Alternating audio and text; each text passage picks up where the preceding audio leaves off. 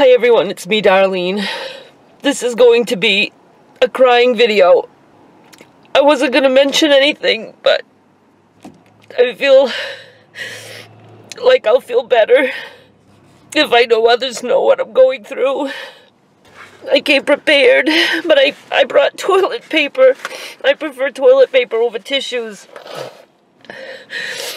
Most of you know, or at least partially know, the story between me and my husband. I am married, and my husband lives in Houston. We met when I was a kid, 14. We got married many years later, like 25 years later. He was from Houston. I've always been in Maine when we got together 25 something years later. I moved to Texas for three years. Then my father was sick and I begged Andy to take me home so I could care for my father and, and Andy did that. And he stayed here for 10 years and he hated it and he was drinking so much.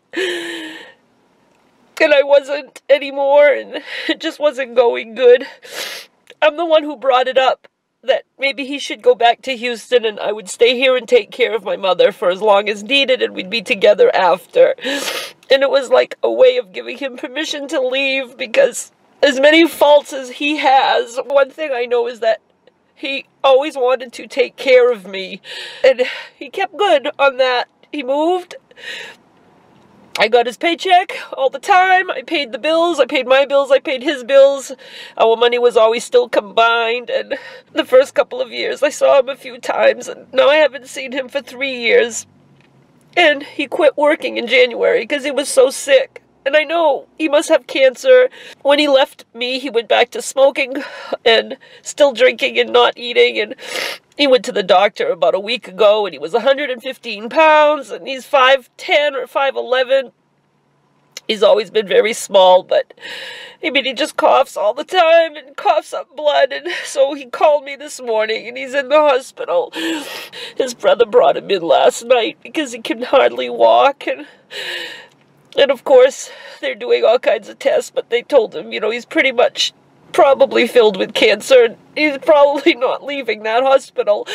And I'm not shocked by that. I can't even believe he made it to 60 years old. I mean, I just don't know what to do now. At first, I wanted to run to him and go be with him, but I don't want a memory of that. So, he hasn't said please come because I know him too. He doesn't want me to have to deal with that.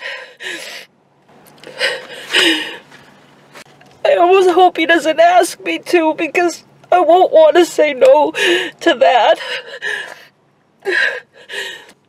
We were talking a while ago about him moving back here. He wanted to come back because he knew that he'd have me and that I would take care of him and help him until the end. But I was still all, you know, saying, you can come, but I don't want you drinking. And I shouldn't have said that. The man is dying. I should have just said, come. I don't care what condition.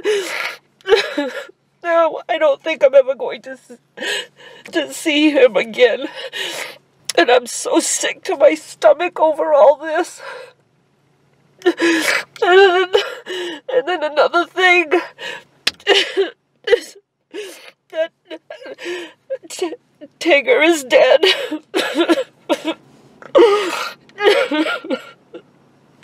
Tigger is the neighbor's cat who visits me every day, almost every day, and has been for six years.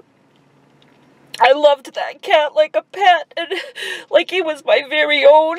My mother did too.